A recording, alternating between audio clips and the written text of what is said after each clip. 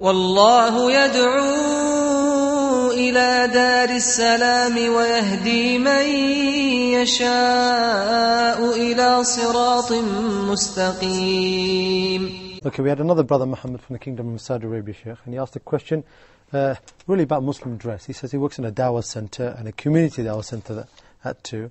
um, many of the people who work there are saying to him that the Muslim uh, has a certain dress, and thus wearing a suit or wearing a necktie and so forth is actually resembling the non-believers, not the Muslims, and thus you should not wear this kind of clothing. Uh, can you give us some advice on this, Sheikh? Well, that will be true if the dress code that the Muslim adopts is specific for certain kind of people who are known of their disbelief or their wickedness. But whenever this dress code is common amongst Muslims and non-Muslims, then there is no prohibition.